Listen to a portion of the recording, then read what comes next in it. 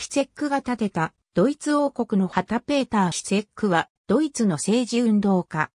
ザクセン・アンハルト州とブランデンブルク州の憲法保護当局は帝国主義運動の流れを組み、連邦共和国の正当性を否定する極右運動組織帝国市民のメンバーだとしている。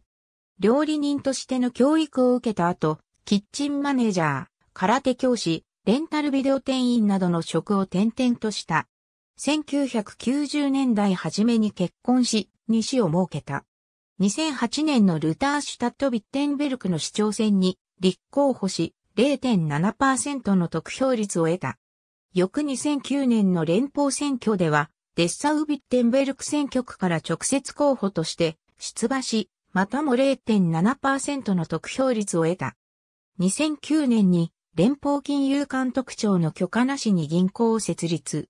2012年にはザクセンアンハルト州ルターシュタットビッテンベルクにあった元病院施設に自らのミクロネーション、ドイツ王国を設立。2013年まで銀行業務を続け、約600人から総額およそ170万ユーロを集めた。さらには独自通貨、エンゲルゲルトを制定し、連邦金融監督庁の許可なく医療保険会社の経営も行っていた。2017年3月15日、晴れ市内の裁判所は、キセックに対して預金130万ユーロを横領したとして、禁錮3年8月の有罪判決を言い渡している。ありがとうございます。